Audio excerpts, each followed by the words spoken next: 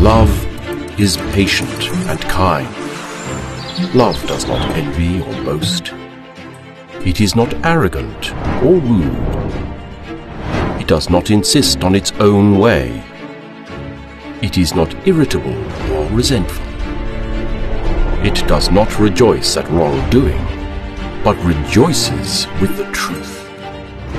Love bears all things, believes all things, hopes all things, endures all things. Love never ends.